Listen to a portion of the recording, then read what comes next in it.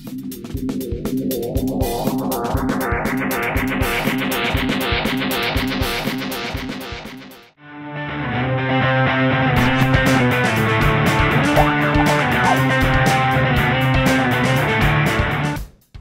Jared with theflyfishers.com. We're going to take a look at how to tie a double surgeon's loop. The knot used to tie this loop is extremely simple and at the same time very, very strong. Let's take a look.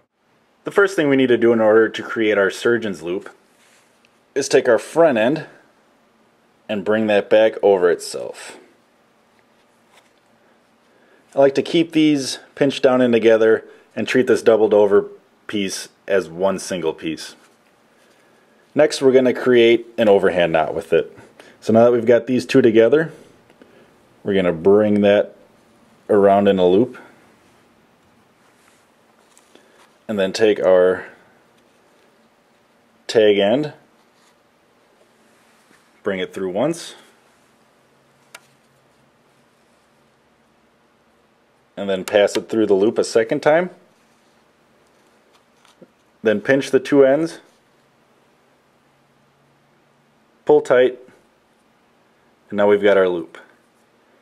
Just trim this tag piece off, and you're in business.